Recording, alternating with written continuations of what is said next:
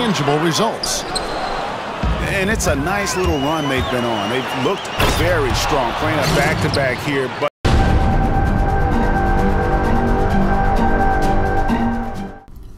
What's good? It's another Play Now Online, and this time I'm taking the Bucks, and I'm going against the Lil J. That's his name. And he's got the Washington Wizards, and if you take a look at this matchup, um, technically we got the better team, right? That's what this is saying. Says we got the better team, but let's look at Lil J. What's Lil J doing? Lil J, the Lil J03, they give him the advantage I think that means what does he win 84% of his games? I think that's what that means. I, am not totally sure. But then you take a look at his scouting report. My man got an A plus on offense, A plus on defense.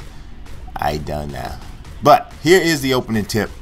And uh, they get the they get the ball to start. I like to show y'all the first possession of the game. Might not mean nothing, but you know, we'll see what happens here. He's holding the ball out, uh, running this little somewhat of a weave, nice little uh, freestyle offense he's got going here. But now I'm double teaming John Wall up top. Oh, I forced the turnover.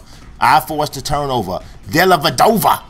The fast break, the layup. Oh my God, should have known Tony Snell was going to miss the layup. And this turns into a fast break the other way, a two hand slam. Oh, that's a bad omen for the way this game is starting. Missing more layups. How many layups are we going to miss? Jabari Parker misses a layup. Look, this Euro. Oh my God. Left Matthew Dellavedova to stand there looking like he was stupid. Now, what was with the physics there?